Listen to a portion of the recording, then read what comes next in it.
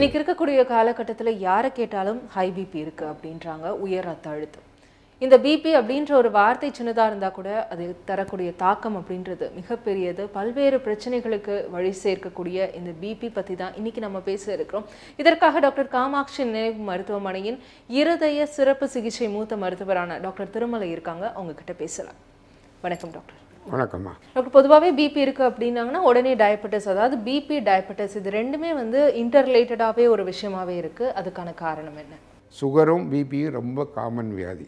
அதுதான் common cos of death இந்த ஃபியூச்சரில் இந்தியா டயபெட்டிஸை கேபிட்டல் இந்தியா இஸ் கே டயபெட்டிக் கேபிட்டல்னு சொல்கிறான் maximum number of diabetic patients இருக்காங்க. அந்த டயபெட்டிஸ் இருக்கவங்களுக்கு கிட்னி டேமேஜ் வரும். ஹார்ட்டில் டேமேஜ் வரும். கிட்னி டேமேஜ் வந்தால் பிளட் ப்ரெஷர் கூடும். டயபெட்டிஸ் ரொம்ப நாளாக இருக்கவங்களுக்கு பிபி வந்துடும் இந்த மாதிரி பிபியும் டயபெட்டிஸும் ரொம்ப இன்டர் கனெக்டட் அது மாதிரி டயபெட்டிஸ் இருக்க காம்ப்ளிகேஷன் எல்லாமே பிபி இருக்கவங்களுக்கு வரும். டயபெட்டிஸ் இருக்கவங்களுக்கு பிபி ரேஞ்சை ரொம்ப குறைச்சி வைக்கிறாங்க. இப்போ ஒன் தேர்ட்டி ஒன் ஃபார்ட்டின்னு சொல்கிறோம்ல டயபெட்டிக் இருக்கவங்க இதை விட பிபி ரேஞ்சு குறையா இருந்தால் தான் இந்த வைட்டல் ஆர்கன்ஸ் கிட்னி கிட்னிலாம் டேமேஜ் ஆகாது. அதுக்காக தான் டயபெட்டிக் பேஷண்ட்ஸுக்கு பிபி கண்ட்ரோல் ரொம்ப முக்கியம். நார்மல் கண்ட்ரோலோட ரொம்ப ஸ்ட்ரிக்டாக இருக்கணும் அவங்க. இல்லாட்டா இந்த முக்கியமான ஆர்கன்ஸ்லாம் டேமேஜ் ஆகிரும் பிபினால் ஸோ ரெண்டு இன்டர் கனெக்டட் அந்த ரெண்டு தான் நம்ம ஃப்யூச்சரில் major cause of premature death young age டெத்ஸுக்கு காரணமாக இருக்கும்.